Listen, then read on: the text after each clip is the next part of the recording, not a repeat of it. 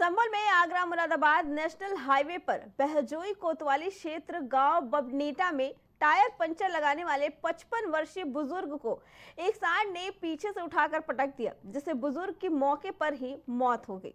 बुज़ुर्ग की मौत से परिवार में कोहराम मच गया। सूचना पर पहुँची पुलिस ने शव को कब्जे में लेकर पोस्टमार्टम के लिए भेज दिया। वही बाद में शव को लेकर बहजोई मुख्यालय पहुँचे ग्रामीणों ने रास्ते को लेकर हंगामा कर दिया। बता दें कि शमशान घाट पर जाने वाले रास्ते पर ग्रामीणों ने घर बना रखे हैं, जिसकी वजह से शमशान घाट पर जाने का रास्ता नहीं मिलता है। ग्रामीणों के हंगामे के बाद प्रशासन ने समस्या का जल्द समाधान कराने का आश्वासन दिया। तो वहीं ग्रामीणों ने चेतावनी देते हुए कहा कि अगर हमारी समस्या का समाधान जल्द नहीं किया गया तो हम उग्र आंदोलन को बाध्य होंगे। एक रास्ता है जिसमें तीन घर बना रखे हैं। उसमें पहले बेदखली के आदेश एस कोर्ट से हुए थे, बाद में ऑनरेबल हाई कोर्ट ने वो फ़ाइल को पुनः सुनने के लिए रिमांड किया है। तो जैसे ही वो सुनवाई पूरी हो जाएगी और उसके बाद पुनः सुनवाई होने के बाद जो निर्णय आएगा, उसे एग्जीक्यूट कर दिया जाएगा और वो रास्ता वास्तव में छोटा है। तो अभी ऑनरेबल हाई कोर्ट के डिसीज़न के क्रम में हम कुछ कर नहीं पाएँगे, लेकिन जैसे ही दोबारा डिसीज़न आएगा उस रास्ते को आगे बढ़ाएँगे। ये पूरा मामला ग्राम बगनेटा का है। ये बगनेटा में ये गड्ढे की ज़मीनों पर कुछ ग्रामवासियों ने अपने अवैध मकान बना लिए जिससे पीछे डेढ़ सौ परिवार आने जाने के लिए परेशान है। अब उनके घर में कोई मृत्यु हो जाती है तो ये बॉडी नहीं निकल पाती है वहाँ से। चार लोग लेके नहीं निकल पाते हैं। तो काफ़ी समय से ये लोग संघर्ष कर रहे हैं। तीन साल से और भीमा में आज़ाद समाज पार्टी भी इनके साथ मिलकर कंधे से कंधा मिलाकर इस रास्ता खुलवाने में इनका सहयोग कर रही है। वही पुरानी पेंशन बहाली को लेकर एकजुट हुए राज्य कर्मचारी बीएसए कार्यालय से कलेक्टर तक आक्रोश मार्च निकाला।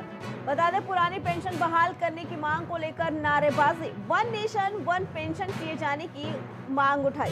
सरकार पर लगाया वादा खिलाफी का आरोप। अटेवा पेंशन बचाओ मंच के नेतृत्व में निकाला गया ये आक्रोश मार्च बता दें, ये वन नेशन वन पेंशन की मांग उठाई जा रही है।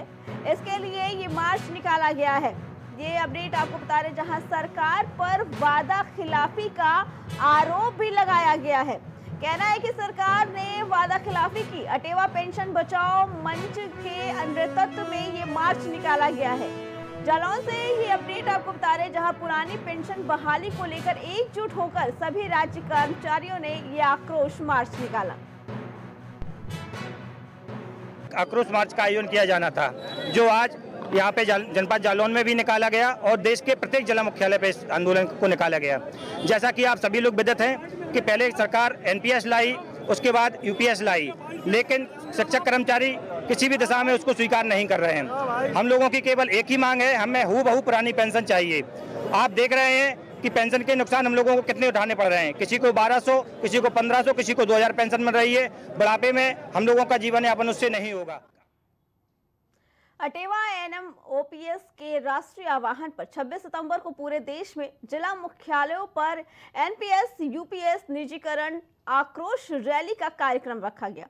मथुरा में ये कार्यक्रम जिलाध्यक्ष प्रदीपिका फौजदार के नेतृत्व में बाइक रैली के रूप में जिला शिक्षा और प्रशिक्षण संस्थान से प्रारंभ होकर टाउनशिप वेटरनिटी कॉलेज, कचहरी होते हुए कलेक्टर परिसर में संपन्न हुआ। उसके बाद प्रधानमंत्री और मुख्यमंत्री को संबोधित ज्ञापन जिलाधिकारी के माध्यम से दिया गया। हज़ारों की संख्या में शिक्षक, कर्मचारी, अधिकारी बाइक पर हाथों में नारे लिखे तख्तियाँ लेकर कलेक्ट्रेट पर प्रदर्शन करने लगे।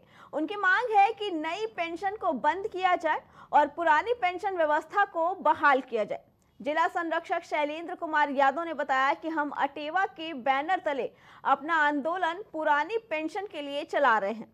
वरिष्ठ उपाध्यक्ष कप्तान सिंह ने कहा कि एनपीएस से भी खतरनाक यूपीएस है और सरकार हम पेंशन विभिन्न को चलने का काम कर रही है। ना हमें एनपीएस चाहिए और ना यूपीएस चाहिए। हमें बिल्कुल ओपीएस ही चाहिए, पुरानी पेंशन चाहिए। पुरानी पेंशन की मांग है, पुरानी पुरानी पेंशन चाहिए। पुरानी पेंशन चाहिए और कोई मांग नहीं एक मांग पुरानी पेंशन, देश के नेता चार चार, पाँच पाँच पेंशन ले रहे हैं और हमें कह रहे हैं पैसे नहीं है देश के पास। ऐसे पेंशन चाहिए, हम लोग चालीस साल, पचास साल सेवा करने के बाद हमारे बुढ़ापे का सहारा कुछ नहीं है। इसलिए पेंशन चाहिए।